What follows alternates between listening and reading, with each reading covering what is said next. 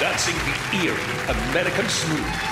Danny John Jules and Amy Devilish Dowden.